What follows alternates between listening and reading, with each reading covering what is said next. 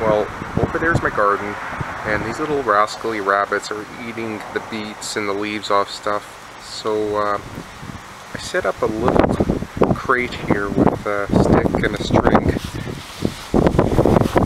Hailey's in her uh, wagon, and we're going to attempt to catch Rascally Rabbit by putting lettuce under the crate.